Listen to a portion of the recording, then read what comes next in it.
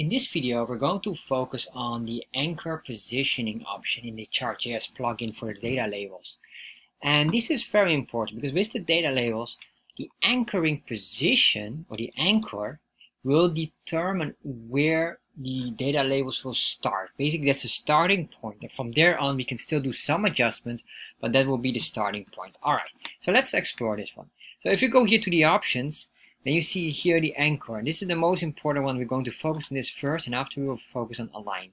So when you click on this, you will get here, and you can see here the anchoring. And basically what the anchoring says here, an anchor point is defined by the orientation vector and the position on the data element. Meaning, the orientation vector, right, the, the orientation depends on the scale type.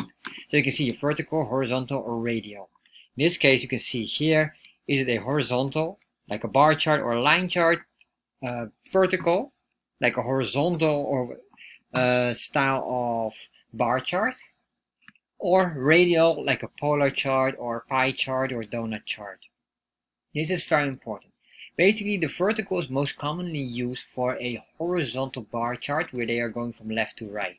While a vertical bar chart, which they're going from top to bottom or from bottom to top, will have the horizontal scale. So don't get confused by it. This is basically the horizontal scale they use, as you can see here visually.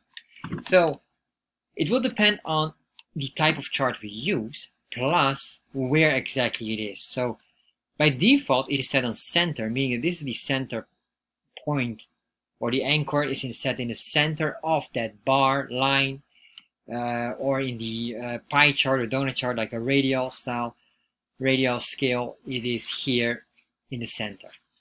So what you can do as well is in the starting point and the starting point will be at the very bottom. Or here the starting point of the bar chart. And here as well the starting point here is the starting point of the radials the, the, the real point of center. Basically, this is their this is the official starting point, and from there on, it's to start to calculate in the radial. So, in the end, is just at the very end here, just at the outskirt of it, as you can see here. So, all right, so let's start to apply this because then you will see it becomes important because these things here, well, visually this looks very complicated, but if you just use it, you will start to understand it very quick. So let's start and do this one immediately. So what we're going to do here is we want to set every item we have. Right now we have two data sets here, but we want to make sure that every data set that we have have this same design in positioning or anchoring, anchor positioning. So we say here anchor, by default it's set on center. So you will see here center, save, you will see nothing happens. If we refresh here, nothing happens. All the bars or the data labels are exactly in the center of the bar. So what if we do here now starting point at start?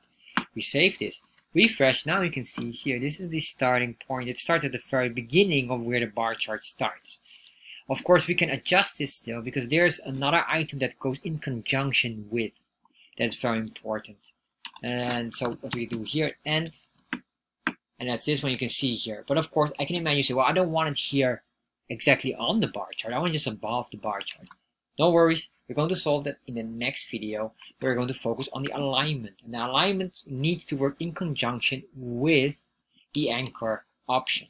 So let's start and explore that one in the next video.